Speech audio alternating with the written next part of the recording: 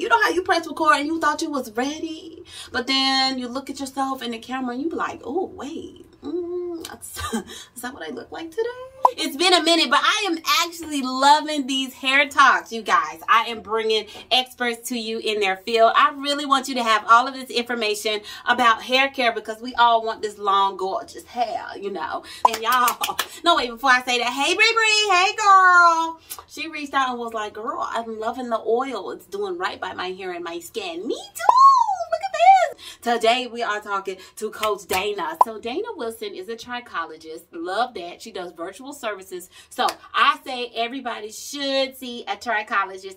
At least once a year just to see the health of your hair, just to know what's going on. And Dana is going to school us. First of all, if you've ever dealt with fibroids, PCOS, endometriosis, it is wonderful to hear her because she is going to be someone that you can actually reach out to and have another conversation, especially if your hair isn't thriving and you are dealing with one of those reproductive diseases because I already got my own fibroid story, y'all. It's just a thing. Um, she is a loctician. She has beautiful Sisterlock. They are gorgeous. So if you ever have questions about that, I love it because a lot of the um, college uh, students that I had the opportunity to speak to last year, a lot of them um, told me that they were going to be doing their side hustles, and one of them was doing hair. So you can actually become a certified um, Sisterlock technician without having to go to cosmetology school and you could be doing that in the dorm. So i absolutely love that. What else did i want to tell y'all about dana before? Oh dana reminded me about um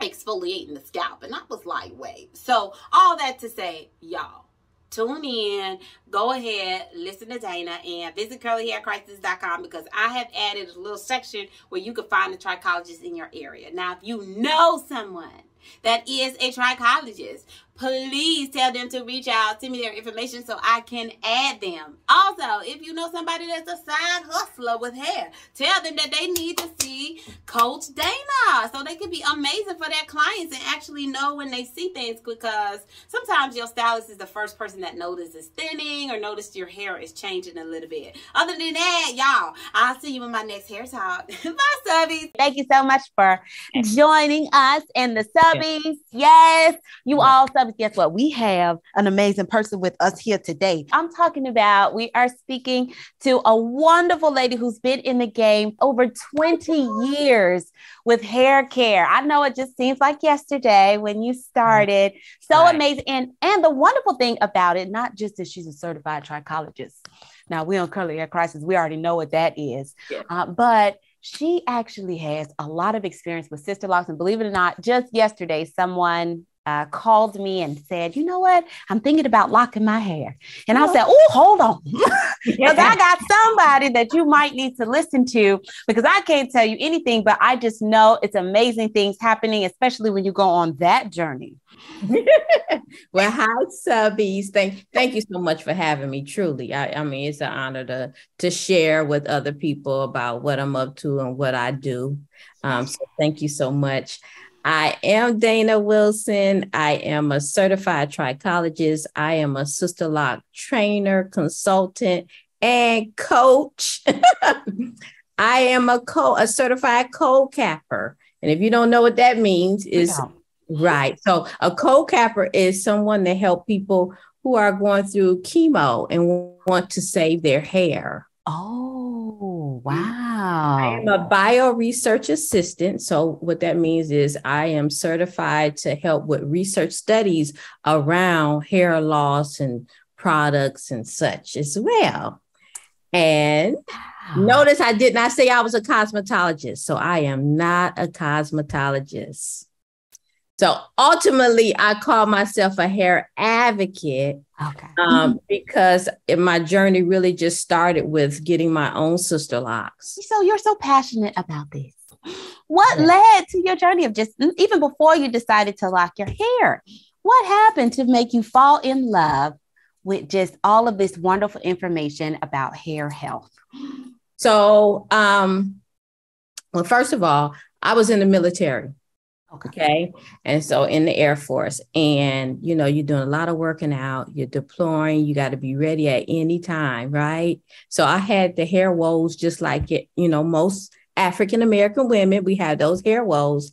And so I was trying to figure out what to do with my hair um, that, you know, that look good and, and, and manageable. And that's how I end up with Sister Locks. And then from Sister Locks, get my Sister Locks done, I decided I wanted to be learn how to do it.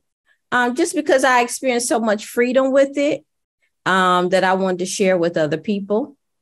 And then I obviously I became a consultant. Never really trying to do it as a business. It was just a really a sharing at first. and then I had to learn how to do business because it got out of control, right? Oh. The sharing got out of control. we know. But over the years with my clientele, I started seeing hair loss. And I could not uh, put it together why, why I knew that they were coming for their regular appointments. They had a great regimen in regards and regarding shampooing their hair and moisturizing their locks and such. And they were going to see dermatologists and getting different treatments, but it really wasn't working. You know, it worked for temporarily and then go away. Um, then I started losing my hair. Wait a minute. Yeah. Mm-hmm. mm-hmm. Wait. Yes, ma'am. I did. But it wasn't the kind of hair loss that was like coming out in clumps in my hand or in the shower or anything like that. It was just a diminishing of density all overall.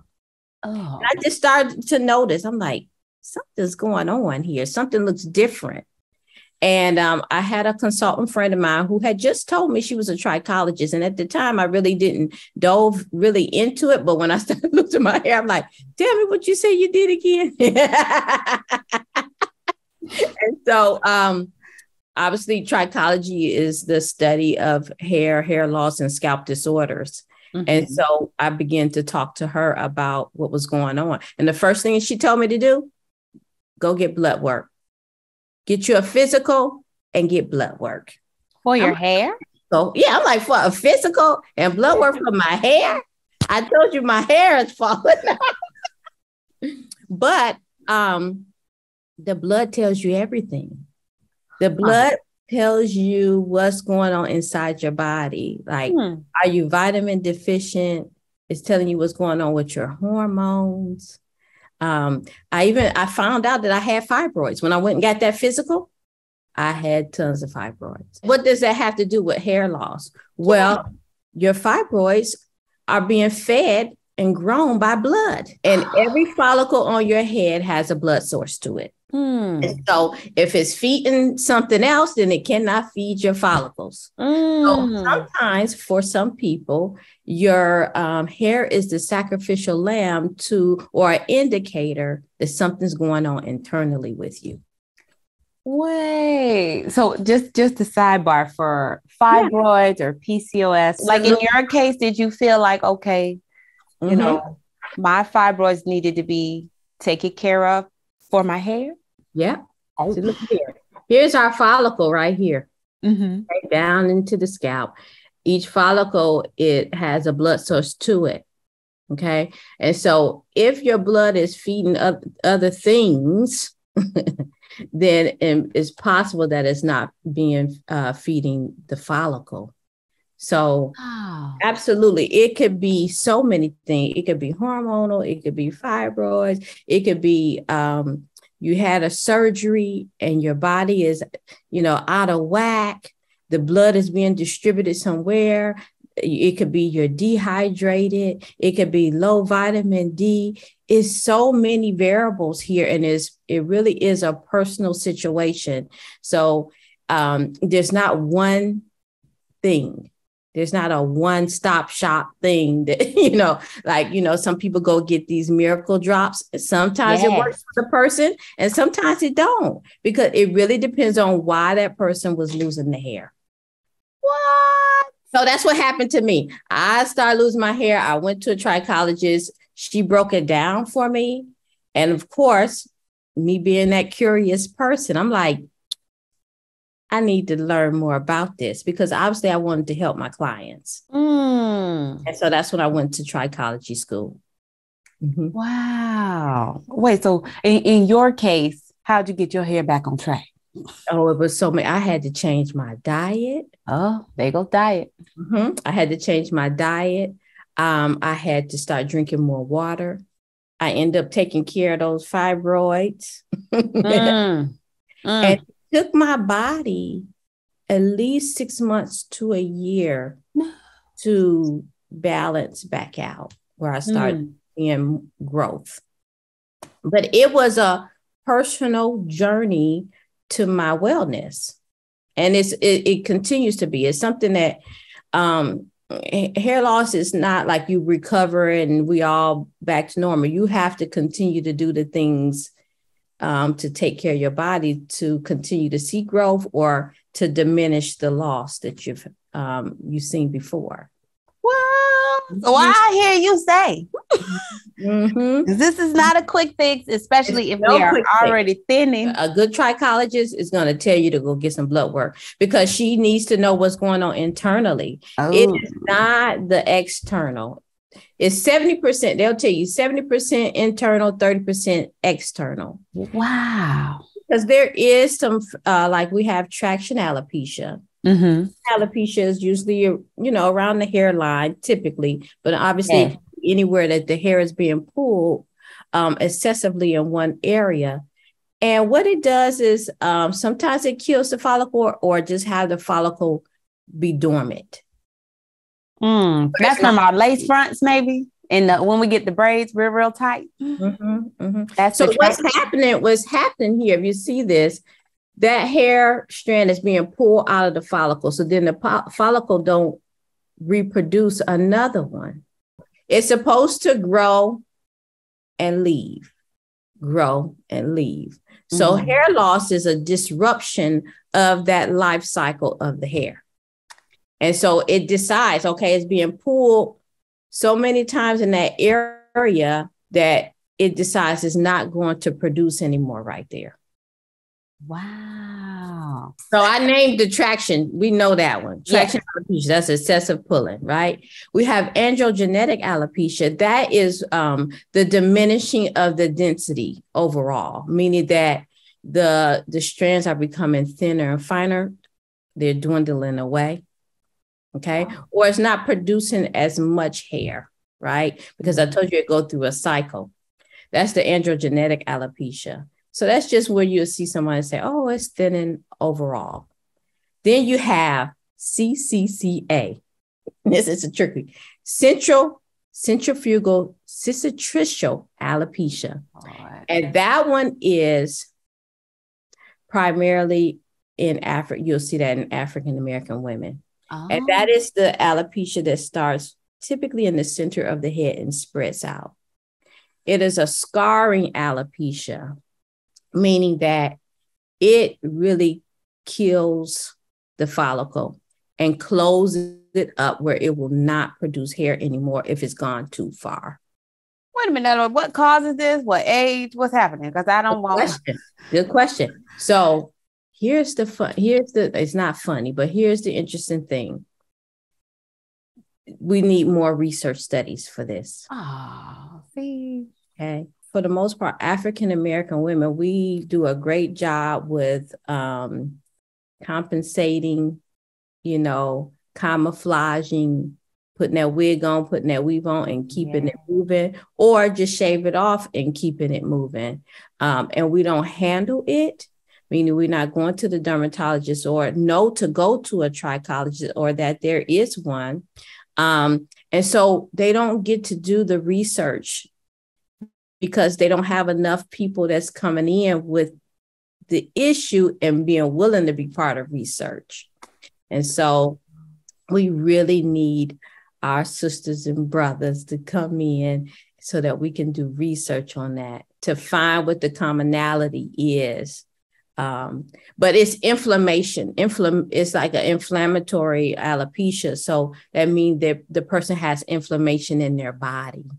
Um, those are the common ones that I see. Of course, you have, you know, scalp disorders. People have seborrhea der- dermatitis and ringworm and all that kind of good stuff. But as far as hair loss, traction, androgenetic alopecia, and CCCA are the huge ones in our community.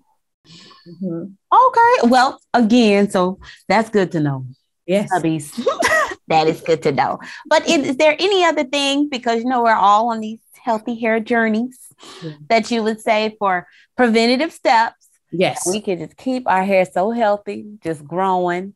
Mm-hmm. Is there anything else that comes to mind? Yes, scalp hygiene is the first thing to come to mind. Um, because we think about, you know, shampooing your hair, right? But it is the scalp that is the breeding ground for the hair right? So we need to keep our scalp clean. So just the same way that you do, you know, you wash your face every day, right? Yes. But then at some point you get a facial so that you can get a deep cleanse. Huh. You would do the same thing with your scalp, and that's called a scalp exfoliation. You would get a scalp exfoliation where you're focusing just on the scalp, getting those follicles and pores all cleaned out. The same way you would do with your face. Wait a minute, I've never heard of this. Do, do I need to go somewhere and get this done? Wait a um, minute. Absolutely, you need to be going to get a scalp exfoliation at least every six months for sure, if not more. Oh. You got to keep the scalp clean. And then, of course, shampooing your hair. Because typically, if you shampoo your hair, you're getting some on the scalp, but a scalp exfoliation is specifically just for the scalp and getting all that debris wow. off and like a deep cleanse of the scalp so that the scalp is in an optimum way to produce hair. Mm. That is that's what I would tell you to do. that is a preventative measure. And of course, getting a physical is a preventative measure all within itself, right? Yes. And then for those people who say, oh, it's in my family, it runs yes. in my family my mother has thin hair, my or somebody is bald, that means I'm gonna be bald. No, it's like any other ailment. When you go to the doctor, they say, "Do you have cancer that run in your family? Do you have diabetes in your family?" Right? And that that is a like a red flag for them to say, "Okay, we need to make sure that you're eating well. We need to make sure you're doing these things because it's in your line, right?" So that we can change that direction if we deal with it ahead of time. It's the same thing with hair loss. Wow. If you believe that it's in your family line, let's do some things now so that maybe you can change the trajectory of where you think you would be going. All right. Now I now thank you for saying that. I'm telling people again with my health connect. Your mm-hmm. hair is it's a lot of internal things happening with this, and we want this gorgeous, beautiful hair. Um, but to, just to keep it moving though, yes. I would love to hear more about the sister locks. So, first of all, uh, excuse my ignorance. What is the difference between when people say, "Oh, I have sister locks," versus people who just say, "Oh, I just want to go get dreads"? Sister locks is the only natural hair management system with a certification uh, attached to it. Oh. oh. Dr. Cornwell, um, who is the founder of Sisterlocks, uh, what she did was she, when she created this system, okay, she sued the Board of Cosmetology in California. Her practitioners did not have to go to your cosmetology school to get a certification because they could not offer it. She owned it. And she had a certification process. Oh. So a Sisterlock practitioner does not have to go to cosmetology school to practice sister locks. Nice. You just have to go get a certification. Mm-hmm. The beauty about sister locks is that shampooing is part of the locking process. It is a vital part of the locking process. And with some um, locking um, techniques, they don't want you to shampoo the hair because they're using, not in the beginning, because they're using some kind of gel beeswax or some kind of agent that is binding the hair together. Mm. it together. So if you rinse it out, it's time for that retwist because you rinse in whatever they put so that the hair can lock out. With sister locks, it is an interlocking from the beginning, and the shampoo actually helps to um, move the locking process along. Oh, mm-hmm. yeah. Well, yours are beautiful, by the way. because we are looking. listen, listen. I don't even know my life without them. Now, I'm not knocking any other technique because they're beautiful too. They mm-hmm. are beautiful. They are doing it up. Um, and um, but I just so happen to have gotten Sister Locks, and if it works for me, it's been over 20 something years. I don't even know my life without it. And um, it's no limits to what I can do with my hair. That's all right. Well, we definitely want to hear some some tips about these locks because I would tell you, my, one of my best girls just called me, said she wanted to lock her hair, and she said it's because she's tired of her hair. she said she wanted a low maintenance, you know, something that she felt like she wouldn't be manipulating her hair all the time. Okay. So I don't know if that's true or not. Maybe you could. So so here's the other beauty about sister locks. It the sister locks are designed the way that they're um the way they're parted, the way that you actually start the lock is all based on that person's specific hair characteristics. So my locks don't look like somebody else's locks versus somebody else's locks because it's all based on my particular hair, my curl pattern, oh. and, and what it does, right? And so my job as a consultant is just to manage what you already have. Your hair is going to do what it does, even in this natural free state. Okay. So what I mean by that, if the shrinkage is just real, yes, the shrinkage is just going to be real in the locks too. What? For, a time period when they first get started. Okay. Yeah. Yeah. Okay. So oh, I didn't think that. yeah. So if, if the hair stand up when the humidity get it or whatever, that's what's going to do in the beginning stages. So that's not going to be different. It's just being managed. That's all. Oh, mm-hmm. well, how long? How, how, long is this beginning stage? so it's different, right? It depends on your curl pattern. Some uh, oh. hair types lock right away within weeks. Some take six months, some take a year. What? wow. And it also depends on the client too, how how well they following directions as well. Oh. okay. So we can't we can't forget that part. yes. Yes. We are interested in you though. And your services, like what you do, because I and you know, I know quite a few folks that love mm-hmm. to do hair. One time for all of my uh, DC high school students that are now on the way to college, and one of the young ladies told me that she her side hustle was doing hair. Okay. Okay. Okay. In the dorm. Okay. Like, so we would love to know more about what you do and the services that you offer. So I offer um, a couple of things, uh, several things actually. So of course, I told you I'm passionate about sister locks, but right now in that area of sister locks, I'm doing more of coaching. I am a trainer, so that brand new person comes to the class, um, primarily here in the Richmond area. I am the trainer for that class to teach from from the basics on how to do sister locks and how to start your business. But right now, I'm passionate about coaching people once they've taken the class to hone to continue to hone their skills and work with them one on one. Um, I obviously I, I'm a trichologist, so I offer trichological services. I do it primarily virtually. What? So we don't but have to I do also do in person, but primarily virtually we have now since COVID, right? We've learned how to work this thing out, right? Yeah.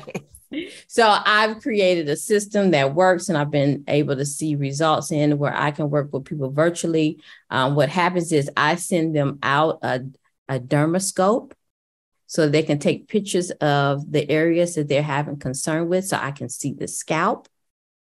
I have a HIPAA compliant platform that you would then um, load those pictures to, along with intake forms. And of course, I ask for blood work, right? I need the blood work.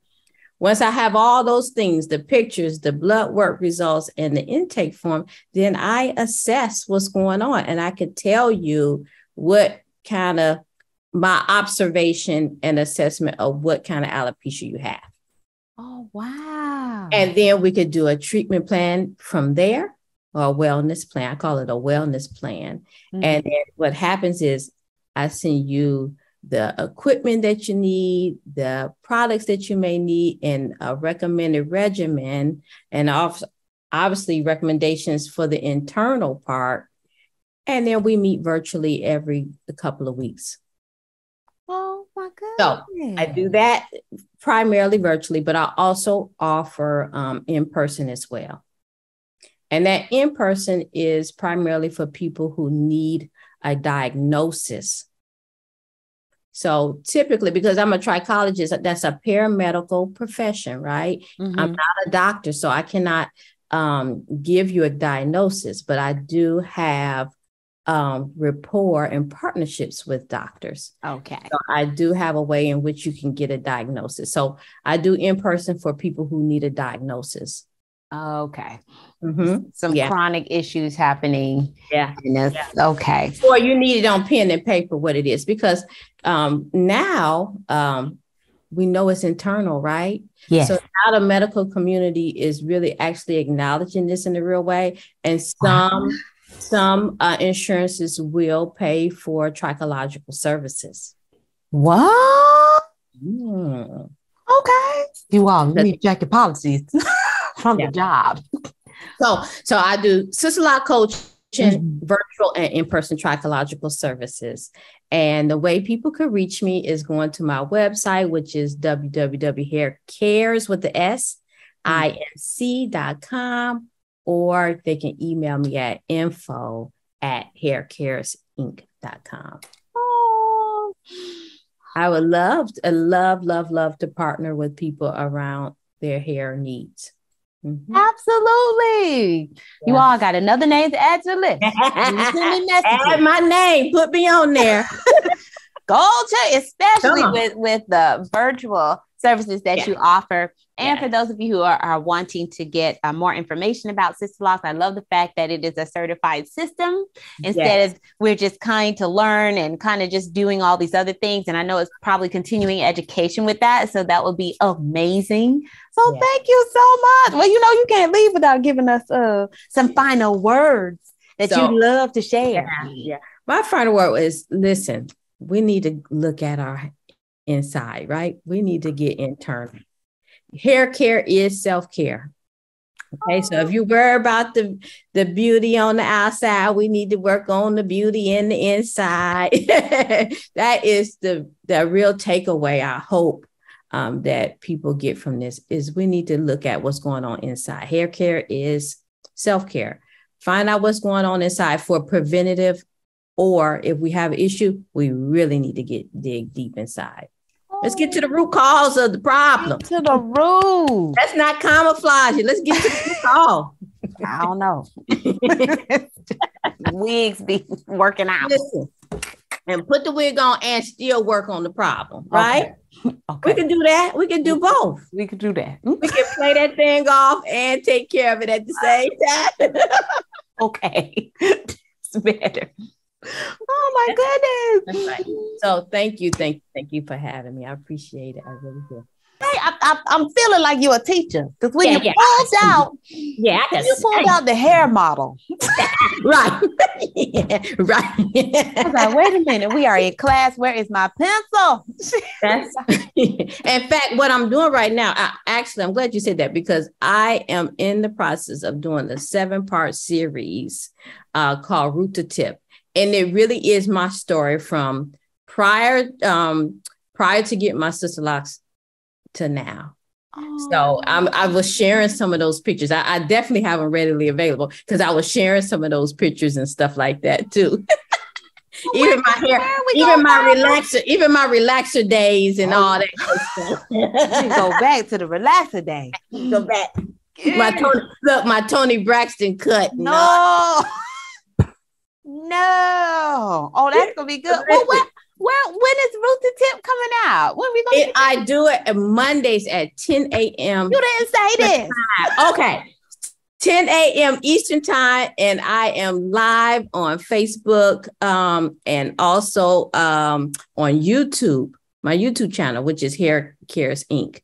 So 10 o'clock a.m. Eastern time, live on Facebook Hair Cares, and then also on um, YouTube as well. Monday, Okay, Monday. every Monday at 10 o'clock, we can catch Uh-huh. you live. And are So you just, if we have hair questions, or is it for Oh, yeah, people who do hair? Like what? what- Yes, it is for the client and the practitioner. Come Oh. on in, join me, ask me some questions, participate. Let's dialogue.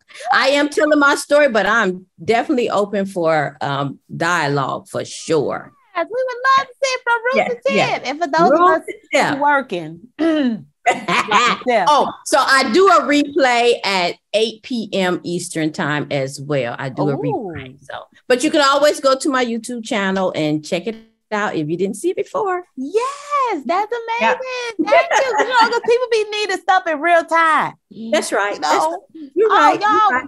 Y'all, Dana is available every Monday at 10. See, she didn't say right. this at first. See, you was trying to hide. Okay. Uh, yeah, yeah, yeah, yeah, yeah. Wow. From Ruth Yeah, please so join me. It's so much fun as I'm going through this journey. Uh, just sharing my journey. Mhm. Yes, please share. People want to know. Cool, That's cool. Girl, package it up. So when is the master class? When when are you holding the class for those of us who are at home trying to take care of our hair? When So are you doing that? listen, now I do have a class. Um, this is for the practitioner. Okay. Remember, I was telling you I'm passionate about helping the unlicensed person, right? Yes. That is your cousin. You said they want to do hair at her house, right? Yes. Nothing's wrong with that, but let me help you identify if your client might be having hair loss issues. So because we are the first first line of defense for that person, you're doing their hair. Mm. So if you see something funny, one, you need to know what it is, identify what it is so that you can help your client. And so that's what my class is called Trico Essentials for Locks. And this is for the hair practitioner who wants to learn more about um, hair loss, how to identify the do's and don'ts, and then how to maintain a clientele with healthy hair and locks. Yes. wow. Well, thank you. Now, see, Yeah. now, you got a lot going on. I didn't on. get y'all my stuff now. I didn't get y'all stuff. Yeah. You got a lot going on. Wait a minute. Got stuff going on, girl. Come I, on. I was just ready Thank for the. Thank you, subbies. Thank you.